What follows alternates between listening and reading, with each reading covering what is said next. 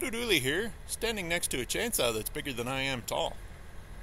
Gonna cut some I-joist with it. It's a bunk saw, specifically designed to cut through entire bunks of lumber in one go. So I'm gonna have a good day. Don't know about anybody else.